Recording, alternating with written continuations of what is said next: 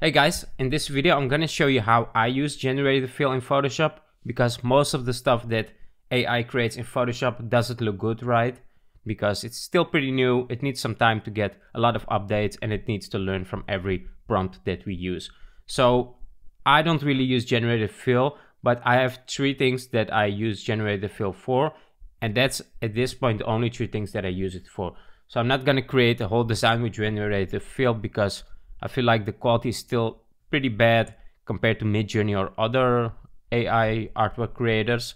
But these three things I would use it for. And I'm gonna show you exactly which three things. And if you didn't know yet, I have Photoshop courses in case you want to learn more about Photoshop. These courses are really good for photographers or digital artists. So make sure to check them out and let's get into this video. All right, let's get into Photoshop. You can see I have this photo of this deer here and I'm gonna use generated fill to do some change to this photo.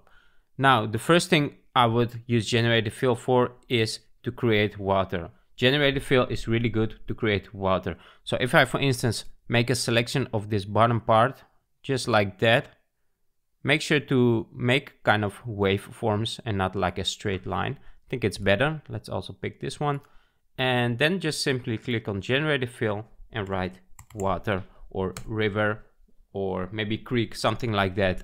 And when you use these kind of generative fill prompts, it creates really good reflections and it looks super realistic. Now, usually we will do this manually by duplicating the top part and then doing some effects to this. And you can see here how good this looks. It looks really realistic. And now we can even pick one of these. And if we don't like any of these, we can just generate more by clicking this one right? So these look really good. Now keep in mind that when you zoom in here, you can see here the blur. It's still pretty low resolution, so don't use it for digital. I mean, don't use it for print, use it for digital because when you're gonna print this out on a big size, especially, you will see all those pixels. Now, this is the first one. The next one is the sky. So let me here select the sky. Oh, let me select the sky here first, just like that. We can also pick some from the mountains there. Let's try this out. And for instance, if I want to change the sky in Photoshop, I could use generated fill. Now let's try to make it more cloudy. I would just write cloudy and it will generate this in Photoshop. Now we also have change sky function in Photoshop to automatically change sky. But if you would like to work in generated fill, you can actually do this also in generated fill. Although keep in mind the pixels are pretty bad at this point and now you can see here it changes the sky and even some of the mountains. Now you can see this one is a bit bad here something happens there.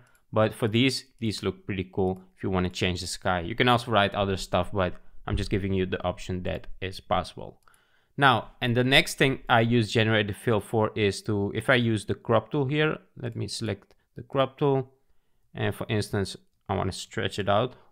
Oh i want to stretch it out like like that then press this here and generate expand and it's gonna expand this image. And these are actually the only three things I use generate fill for. I'm not using it to create a whole design because the quality of the images are pretty bad it's low resolution and it's not there yet. And you can see here this looks pretty cool although here we see some strange things going on in the reflection. But you get the point when you use this it works pretty good to expand your photo and don't forget, don't use these for print yet because they are pretty low resolution. So those are my three prompts that I use generated fill for. So thanks for watching. Catch you on the next one.